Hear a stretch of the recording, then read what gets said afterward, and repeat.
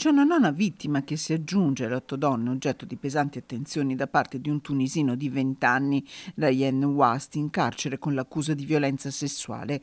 Tutti gli episodi nei pressi della stazione di Padova, dove lo straniero in alcuni casi avrebbe agito anche con un complice, per ora rimasto sconosciuto.